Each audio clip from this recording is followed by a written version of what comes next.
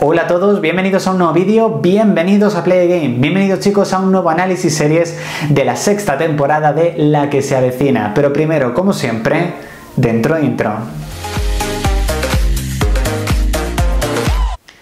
Bueno chicos, bienvenidos a un nuevo análisis series de la sexta temporada de La que se avecina. Concretamente en este vídeo vamos a analizar el capítulo número 77 de la serie y también décimo de esta sexta temporada. Ya nos estamos acercando al final de la sexta temporada, queda muy muy muy poquito y espero que sigáis dándole muchísimo cariño con vuestras visitas y con vuestros likes a estos análisis para que justo en el momento en el que terminemos de analizar la sexta temporada nos pongamos de lleno con la séptima.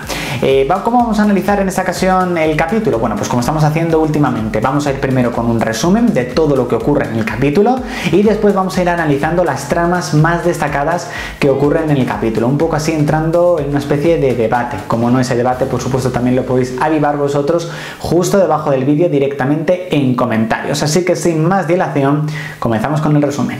En el décimo capítulo de la temporada y número 77 de la serie, Fran aparece en casa con una novia mucho más mayor que él y con el regreso de Araceli.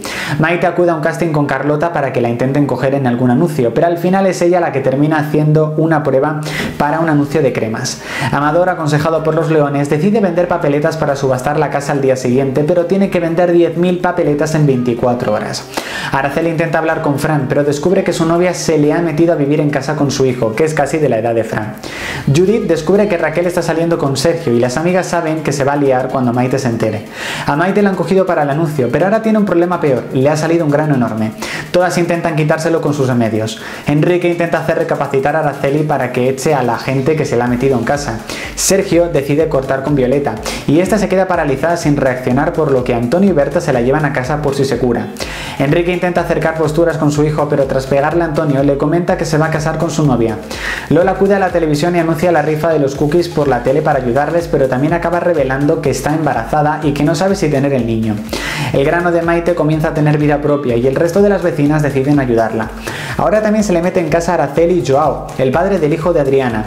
Al ser anunciado su rifa por televisión, Amador tiene que pagar varias multas y tasas y además tener que darle la casa a alguien, por lo que el plan le ha salido de pena, hasta que descubre que ha vendido muchas papeletas. Maite se ha destrozado la cara y tiene que intentar seguir haciendo el anuncio. Berta y su asociación comienzan a presionar a Lola para que no aborte. Los leones deciden amañar la rifa para que nadie le quite el piso a Amador. Araceli intenta echar a Joao de casa pero se termina acostando con él. Enrique llama a la policía como si fuese Antonio para que se lleve a Adriana, Joao y su hijo a su país. Amado realiza la rifa y todos se quejan porque saben que es una estafa. Finalmente Lola decide tener el bebé. Fran se entera de que su padre al que es el que llamó a la policía y decide marcharse a Brasil. Amador se queda sin la casa y no puede pagarla. Tras grabar el anuncio, Maite se entera de que Raquel está saliendo con Sergio, además de enterarse de que ha hecho de vieja en el anuncio. Araceli decide irse también con Fran. El capítulo titulado Una subasta, una crema para viejas y un bombón de licor se estrenó el 3 de noviembre de 2012 y consiguió una audiencia media de 3.679.000 espectadores y un 20,7% de share. Bueno, después de este extenso resumen, por supuesto de todo lo que ocurre en este capítulo, vamos a ir analizando las tramas más importantes que destacan en este capítulo. En este caso la primera es la de Maite y el anuncio. Para mí es una de las tramas más divertidas que hay en la sexta temporada y no en esta ocasión simplemente porque Maite tenga que grabar un anuncio, sino por la situación coral que ocurre con el resto de vecinas de que cada una quiere echarle su remedio para poder quitarle un grano, de que acuden a las tantas de la madrugada, de que al día siguiente todas quieren ver lo que ha ocurrido. Ese corrillo que se produce entre todas las vecinas a mí me encanta y para mí es una de las mejores tramas y las más divertidas que hay en esta sexta temporada. Tenemos la de Lola y el bebé.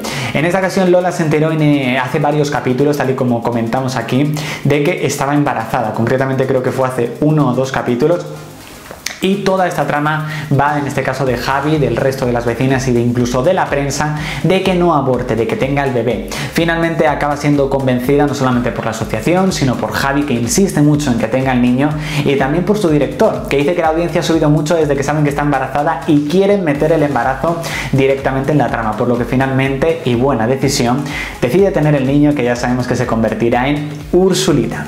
Tenemos la trama de Amador y la rifa, una trama que yo creo que es muy buena, una trama que no había ocurrido hasta ahora y que creo que le da muchísima vidilla al tema de Amador y la casa y también nos pone en un momento en el que es una comedia y hay que reírse, pero vemos como la casa es subastada directamente en este capítulo y la casa ya no es de Amador y Maite, es del banco, por lo que también es una trama, la verdad, bastante, bastante triste. Y finalmente tenemos la trama de la novia de Fran, una trama que supuso la salida del actor eh, Eduardo, eh, Eduardo García, creo que es Eduardo García o Eduardo Gómez, me lo podéis decir directamente en comentarios, creo que es eh, Edu García de la serie. En este caso, este fue el último capítulo en el que participó este, este actor, un actor mítico de, La que se avecina, había aparecido en las seis temporadas y también venía de participar en las cinco temporadas de Aquí no hay quien vida, por lo que en este capítulo vivimos una marcha de un personaje que la verdad fue muy mítico para lo que es Aquí no hay quien viva y La que se avecina.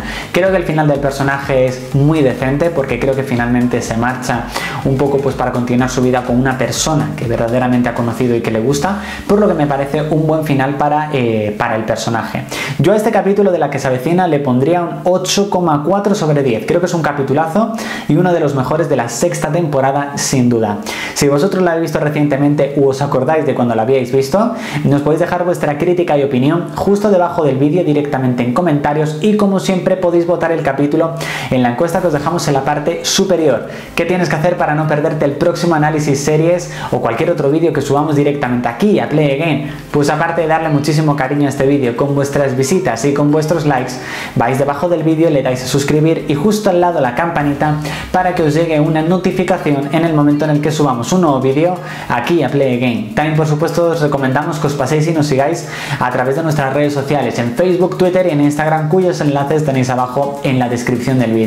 Así que ya sabéis chicos, si os ha gustado este vídeo dale al like, si no estáis suscritos suscribiros y si os ha gustado este vídeo y queréis volver a verlo, Play Game. Y el próximo vídeo que salga, play game. Chao chicos.